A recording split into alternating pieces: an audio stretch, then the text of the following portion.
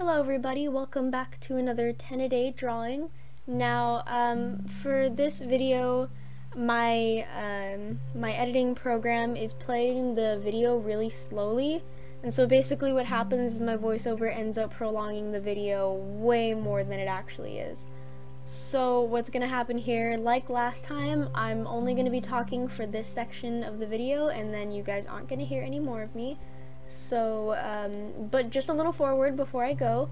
Today's prompt is uh, footwear, which I was actually really excited about because I have been meaning to draw footwear for a really long time, but I keep like making excuses to not do it.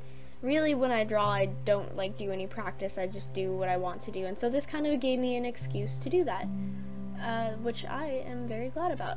Also, there has been a slight change of plans for. Um, Sunday and Saturday and Monday. So Sunday and Saturday will get done. There won't be a speed paint of them like usual. Um, but those are going to be posted in a sketchbook tour instead. And Monday, I, if I can get my programming to work, will do a live stream. If I can't get my programming to work, then it's just going to be the last schedule. But if I can get the program to work, then I'm going to live stream my final day 10 and record my ultimate 10th drawing, which I am so excited to come. I'm so ready to be done with this uh, this challenge. So I will see you guys then, guys.